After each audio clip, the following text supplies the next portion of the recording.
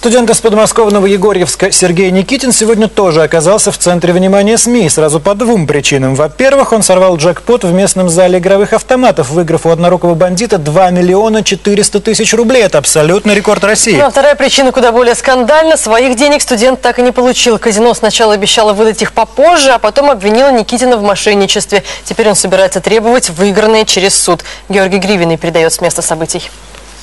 Миллионер Никитин возвращается домой на скромной «Газели». Будущий инженер-механик по-прежнему зарабатывает грузоперевозками и живет в доме у тещи, хотя уже месяц как планировал обзавестись собственной жилплощадью. Двух с половиной миллионов, выигранных в зале игровых автоматов, должно было вполне хватить на двухкомнатную квартиру в родном Егорьевске. Но теперь студенту остается только вспоминать, как он стал миллионером. Часа полтора он крутил. Вот когда я засунул деньги и началась игра, вот, часа полтора он крутил, и накрутил 1250. В руках миг удачи, запечатленный на фото. Вот они, заветные цифры. Там человек 12, наверное, собрало. 4 э, работника зала и 8 посетителей, которые сидели, смотрели за игрой. То есть это вот это, да? Да, да, да. Вот общая сумма выигрыша 4 миллиона 800 2745 рублей. Но так как аппарат 50-копеечный, удар 50 копеек, значит, сумму делим надо. Получается 2 миллиона 401 тысяча.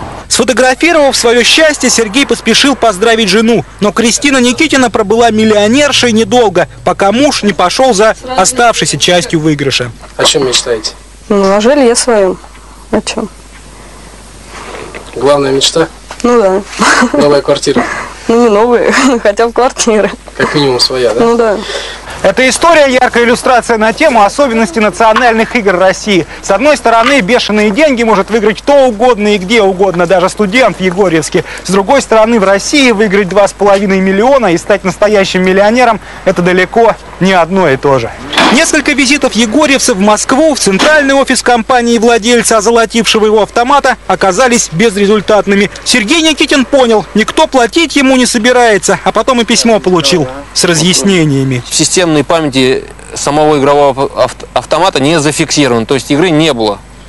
То есть я не играл, я просто сидел, а хотя были 12 свидетелей, 4 работника зала, 2 охранника, 2 кассира два оператора и восемь еще игроков, которые сбежались посмотреть. Ну, аппарат крутил, крутил, давал деньги. Каждый автомат запрограммирован на какой-то максимальный выигрыш.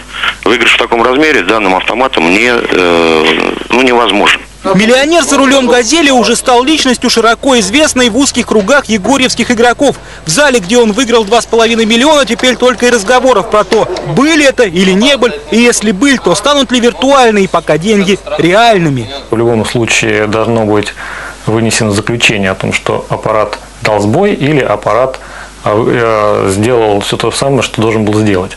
Значит, если сбой произошел, то игроку, к сожалению, принесут только извинения, а вернут ему все его потраченные деньги, ну и поблагодарят за игру.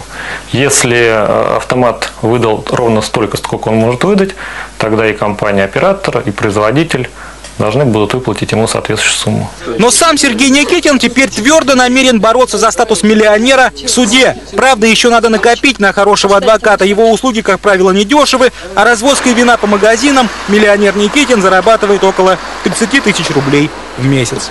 Георгий Гривин, Александр Павлов, Дмитрий Пронский, Павел Романов, НТВ, Егорьевск.